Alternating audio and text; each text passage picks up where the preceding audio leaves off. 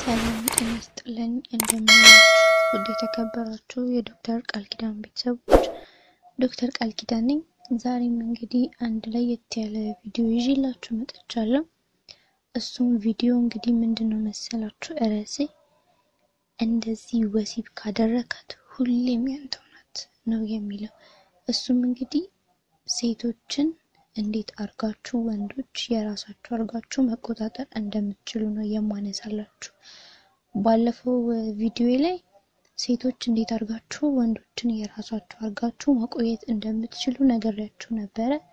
ዛሬ ደግሞ እንግዲህ ወንዶች እንዴት አርጋችሁ ሴቶችን እናንተ ጋር ማቆየት እንደምትችሉ የማነሳላችሁ ይሆናል ማለት ነው። እስከ ፕሮግራሜ ፍጻሜ ድረስ አብራችሁኝ እንድትቆዩ ጋብዛችኋለሁ። ለቻናሌ አዲስ የሆናችሁ ሰዎች ካላችሁ subscribe በማድረግ ቤተሰብ እንድትሆኑ ጋብዛለሁ። ቤተሰብ ለሆናችሁ ደግሞ ከልብ አመሰግናለሁ። ወደ ዛሬው ፕሮግራም ይሄዳለሁ። እንግዲህ ወደ ዛሬ ፕሮግራም ስገባ ቅድም እንደነገርኳችሁ ወንዶች ሴቶች ከነሱ ውጪ ወደ ሌላ ወንድ እንዳያዩ ማድረግ የሚችሉበትን ዋና ዋና ነጥቦች አንስቼ የምነግራችሁ ነው የሚሆነው። በአንደኛነት የሚነሳው ነጥብ እንግዲህ ምን መሰላችሁ?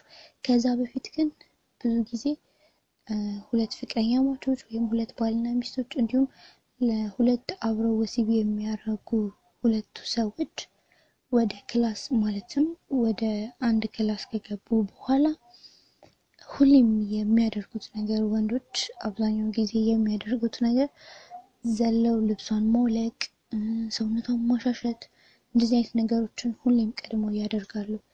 አሁን ነገር ግን ይሄ ነገር መሆን የለበትም። ስለዚህ በመጀመሪያ የምናነሳው ነጥብ ምንድን ነው? ብልትህን እርሳው። ያም ማለት እንዴት ነው? መጀመሪያ ወደ ክፍል ከገባችሁ በኋላ ብልትህን መርሳት ይኖርብሃል። ያም ማለት ሰውነቷን በደንብ መጨበቅ፣ ማውላለቅ ምናምን ሳያስፈልግ ልብሷን ከማውለቅ በፊት መጀመሪያ ጭንቅላቷ ላይ መስራት ይኖርብሃል። ያ ማለት እሷ ለወሲብ ፍላጎት እንዲኖራት እንዲሁም ደግሞ በቃ ላንተ ስሜት እንዲኖራት ማድረግ ይኖርብሃል። ያንንም ማድረግ የምትችለው በቃላቶች፣ በድርጊቶች ሊሆን ይችላል። እነዛን ነገሮች ተጠቅመ እሷን መጀመሪያ ጭንቅላቷን ለወሲብ ዝግጁ እንዲሆን ማድረግ ይጠበቅብሃል ማለት ነው።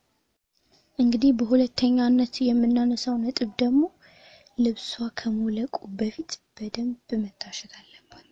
ያም ማለት ብዙ ወንዶች ብዙ ጊዜ የሴቶችን ሰውነት የሚያሹት ልብሷን ካወለቁ በኋላ ነው። ነገር ግን እንደዛ ከማድረጋቸው በፊት መጀመሪያ ልብሷን ከማውለቃቸውን በፊት ማለት ነው ልብሷን እንደለበሰች ፓንቷን እንደለበሰች ሰውነቷን ማሻሸት አለባቸው። ያንን ሲያደርጉ በፍጥነት ምናምን ነገር መሆን የለበትም። በዝግታ በእጃቸውን በለሰለሰ መልኩ ማለትም በጣም ጭብቅ ሳያረጉባት ከፀጉሯ አንስቶ እስከ እግር ጥፍሯ ድረስ የሴት ልጅ ሰውነት መነካት ይኖርበታል በወሲብ ላይ ማለት ነው። ስለዚህ ልብሷን ከማውለቋ በፊት ሰውነቷን በደንብ መንካት ይኖርበታል። እንግዲህ በሶስተኛነት ደረጃ የምናነሳው ደግሞ ስለ ፍጥነት ነው። ያም ማለት በወሲብ ላይ ያለውን ፍጥነት ነው የምናነሳው። ብዙ ወንዶች በፍጥነት ሴቷ እነሱ ፍጥነት በጨመሩ ቁጥር ሴቷ ትረካለች ብለው ነው የሚያስቡት። ነገር ግን ይሄ እንደዛ አይነት ነገር አይደለም። ፍጥነት ስለጨመሩ ሳይሆን የሴቷ ስሜት ስለመጣ ነው። የሴት ልጅ ስሜት ደግሞ ቶሎ አይመጣም፣ የታወቀ ነው። ስለዚህ ስሜቷን ማምጣት የሚችሉት መጀመሪያ ሰውነቷን በሚነካኩበት ሰዓት በፍጥነት በመነካካታቸው አይደለም። እጃቸውን በዝግታ አድርገው በሚነካኳት ሰዓት ነው የእሷ ስሜት ሊፈጠር የሚችለው። ሰውነቷን ቶሎ ቶሎ በፍጥነት የሚያሿት ከሆነ ሰውነቷን የሚነካኳት ከሆነ የህመም ስሜት ከተሰማት አይደለም ስሜቷ ሊመጣ ይቅርና ለዛ ሰው ጥላቻ ነው ሊኖራት የሚችለው። ስለዚህ እጃቸው በለሰለሰ መልኩ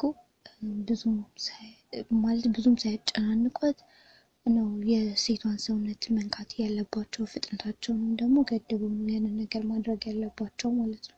እና እንደዚህ በሚያደርጉበት ሰዓት ደግሞ ሴቷን ማናገር ይኖርባቸዋል።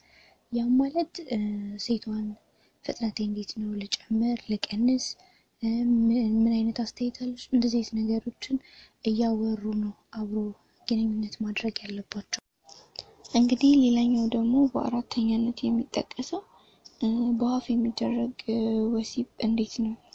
ያ ማለት እኔ ይህንን ነገር የምደግፈው ብዙ ጊዜ ለፍቅረኛ ማቾች ለሆኑ ሰዎች ነው፣ ወይም ደግሞ ባለትዳር ለሆኑ ለነሱ ነው የምደግፈው። ምክንያቱም የተለያዩ አይነት ችግሮችን ሊያስከተል ስለሚችል ይሄ ነገር በደንብ ጥንቃቄ አድርጎ ማድረግ የሚችለው ምናልባት በፍቅር አብረው ብዙ ጊዜ የቆዩ ከሆኑ እና ባለትዳር ከሆኑ ነው ብዬ አምናለሁ። ስለዚህ በብዛት ይህንን ነገር ማድረግ ያለባቸው ባለትዳሮች ወይም ደግሞ የፍቅር ግንኙነት ያላቸው ሰዎች ናቸው ብዬ ነው የማምነው። እንግዲህ ይህንንም ስንል በአፍ የሚደረግ ወሲብ ስንል ያው በሁለቱም መደረግ አለበት። ይሄ ነገር በአንዱ ተደርጎ በአንዱ መተው የለበትም። ያ ማለት ወንዱ የሚጠባለት ወንዱ የሚልስላት ከሆነ ሴቷ ደግሞ የምትጠባለት መሆን አለበት። በሁለቱም በኩል መደረግ አለበት ይሄ ነገር ማለት ነው። ስለዚህ በአራተኛነት ይሄ ነጥብ መደረግ አለበት እና ወንዶች ይህንን ነገር የምታደርጉ ከሆነ ሴቶች ሁሌም የእናንተ እንደሚሆኑ መጠራጠር የለባቸውም እና እነዚህ ነገሮች መጠቀም ይኖርባቸዋል። እንግዲህ በአምስተኛ ደረጃነት ደግሞ የማነሳላችሁ አይታ የማታውቀውን position መጠቀም ያ ማለት ሁሉ በአንድ አይነት position ከማድረግ ይልቅ ተጠቅማችሁ የማታውቁትን position የተለያዩ አይነት position ኦችን መጠቀም አለባችሁ ማለት ነው።